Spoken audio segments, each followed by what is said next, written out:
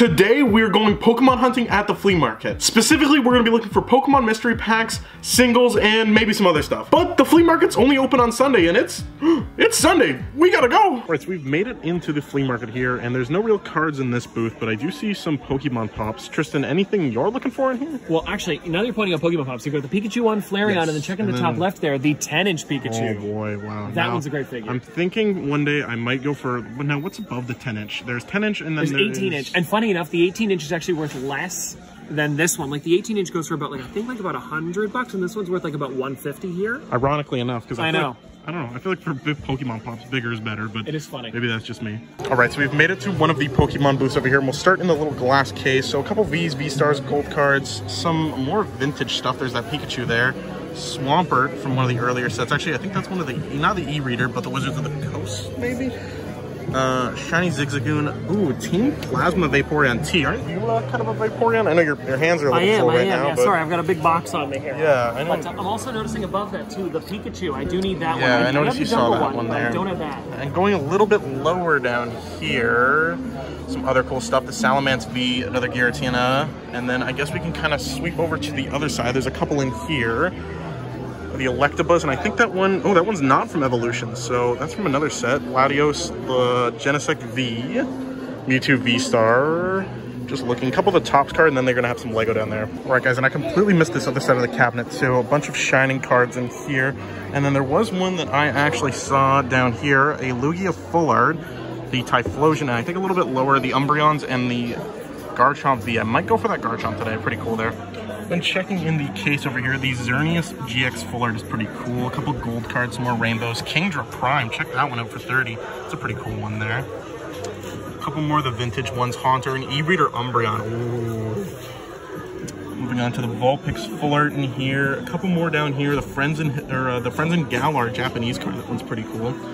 Lugia. Then we're gonna move on to a Rayquaza EX. Ooh. T, I was talking the other day about the the deck box that we saw at the one store with the Oh, Rayquaza right. EX. Now it's a similar one they have here, but it doesn't come in a full deck. So maybe I mean, here's the thing: Do you need the whole deck? Like the 10 buck card is probably what you were just looking for, right? No, I know, and it's kind of neat, but I feel like the deck to have as a sealed thing would be pretty neat, so... That's true. Mm, I'll take a look at that today. All right, checking out the case down here. I'll do the bottom first. There's a couple of the playmats, and I've kind of been looking to get a new playmat. I don't know if I'm going to get one today, but I know I'm going to have to upgrade my Arceus one eventually. And then moving on to the case here, I'll just do a little pan through. So we have the Zacian, a kind of alternate art from the Trainer Gallery for Astral Radiance, Titar and Sableye alternate art, and then Volo Japanese card. They did have a Japanese Mewtwo in here. I think they kind of sold it, so that's a little unfortunate. I know this booth does have some Japanese cards, and I might go for one of them today, but I just gotta kind of find the one I was looking for. But yes, there is a lot of cards in here.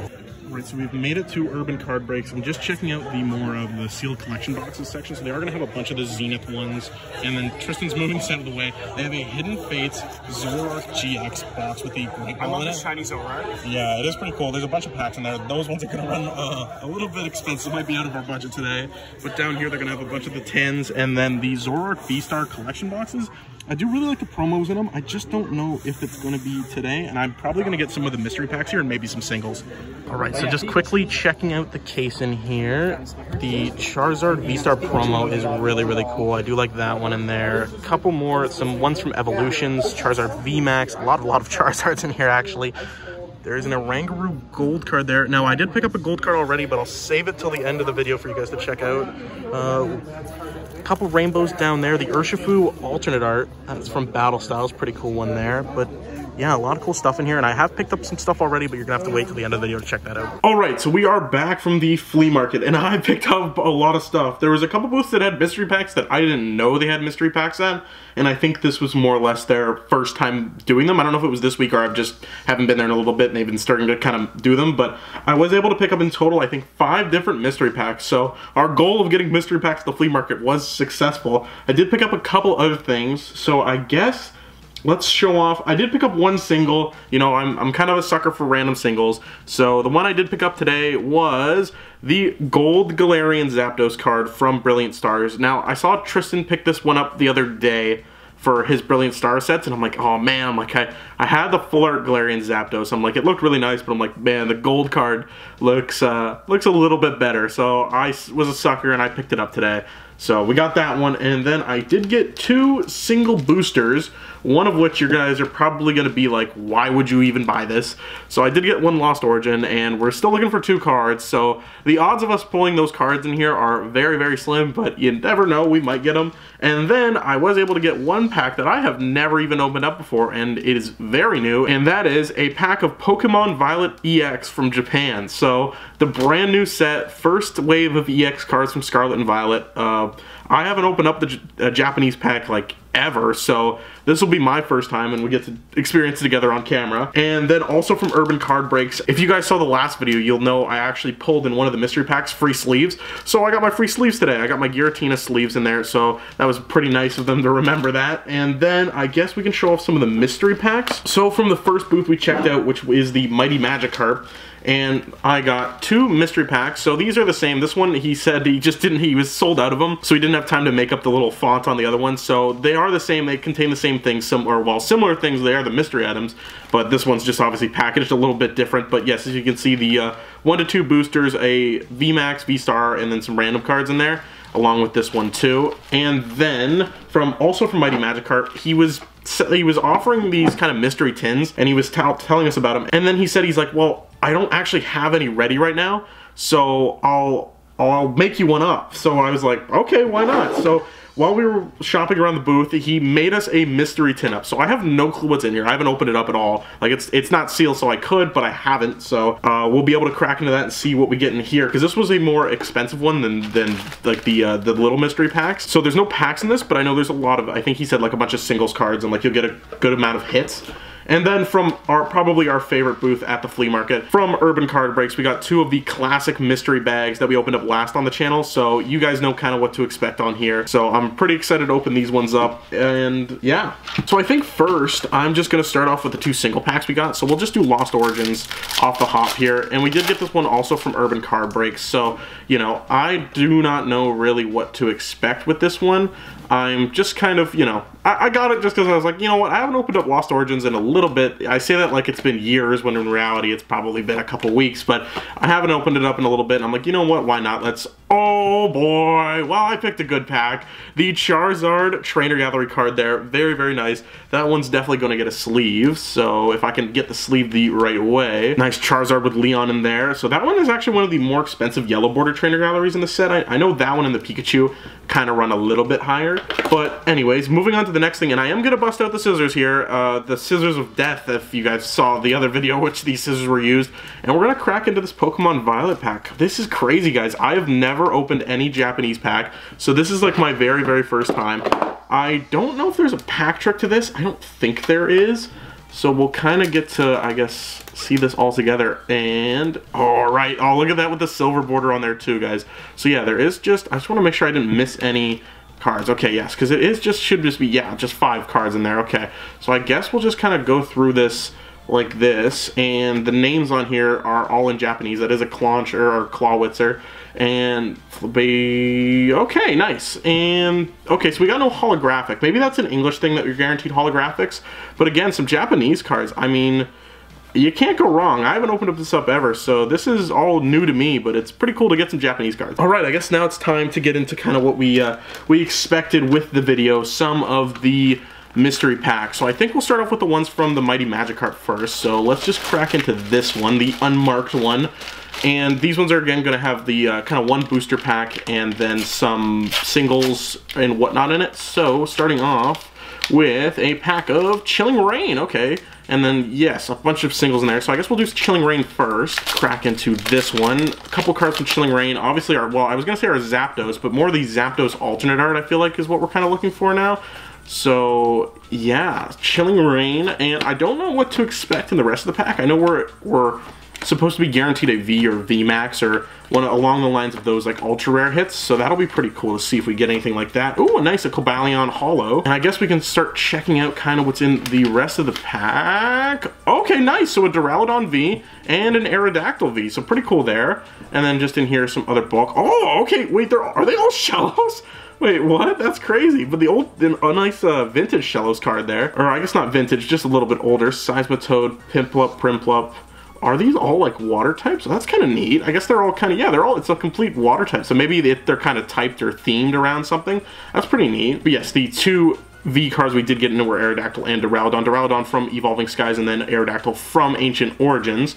So I guess we can just set those to the back there. And we'll get on to the next mystery pack from Mighty Magikarp, and this is the one that's actually, I guess, marked correctly and in an envelope. So, okay, so I guess we'll do this one first, which is another pack of Chilling Reign.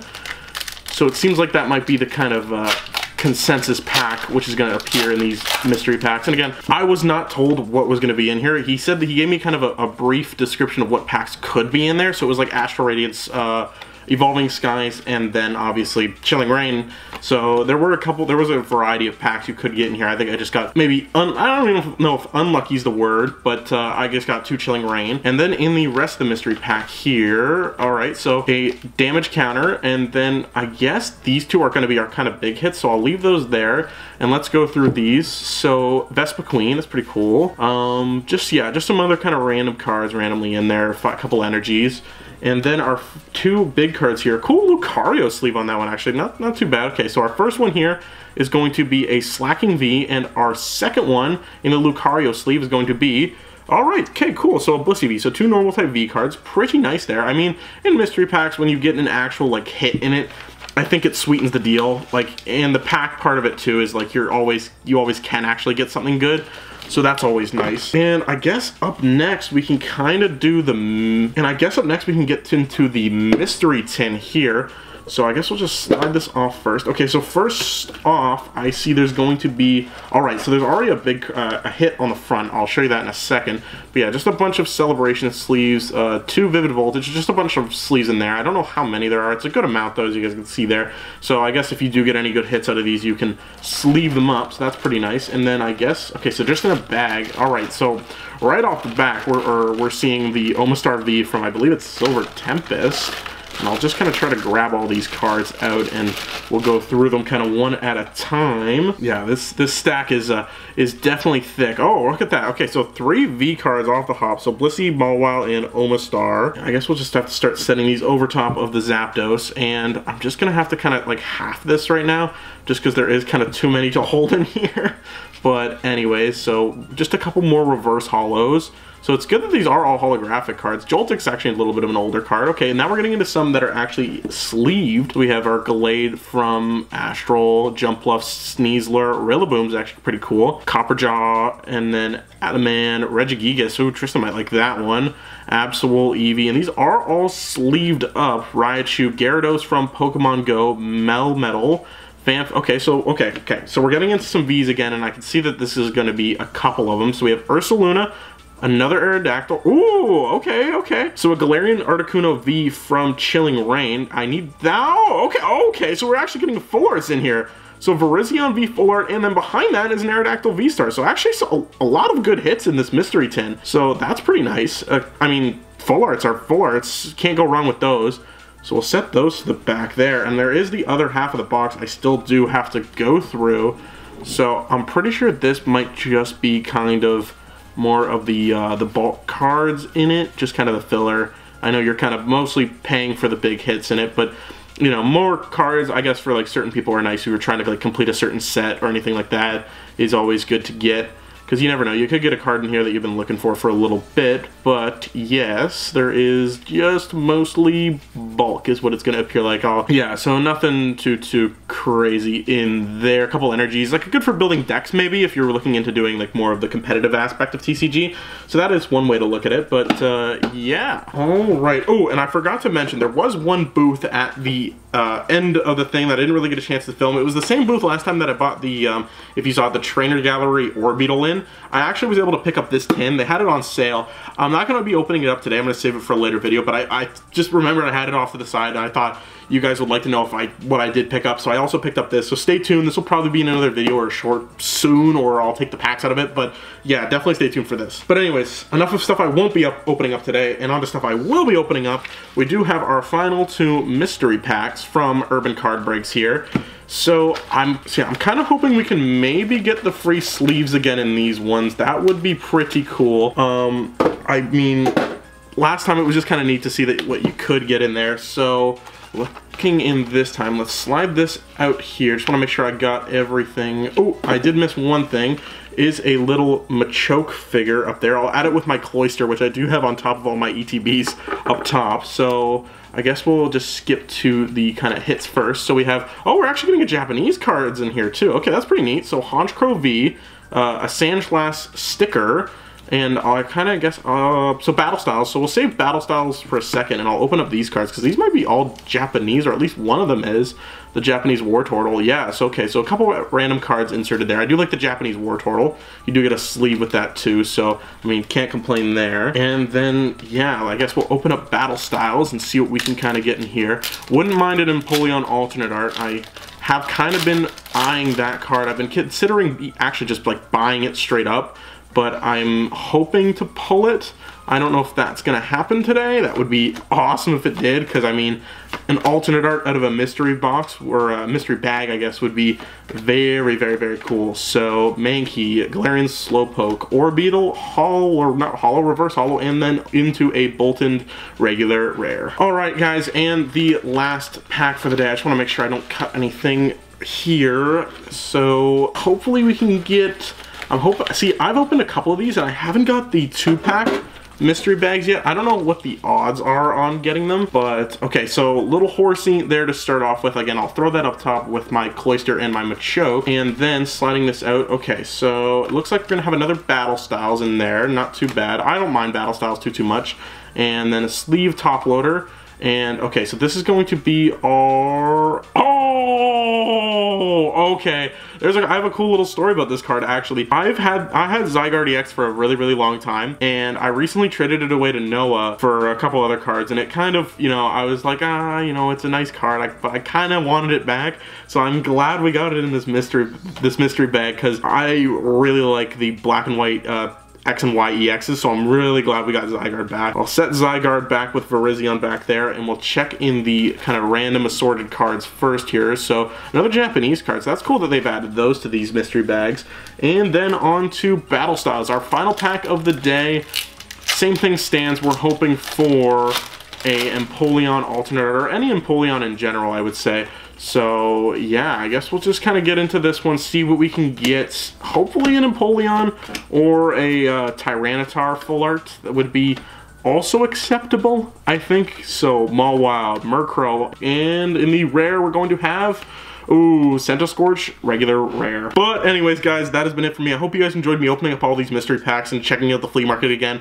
I'm definitely going to be back there soon, so I'll probably pick up more mystery packs. Hopefully next time I can actually get some more singles. This time I didn't get too, too many, but uh, anyways, that's been it for me. I hope you guys enjoyed the video, and I'll see you in the next one. Peace.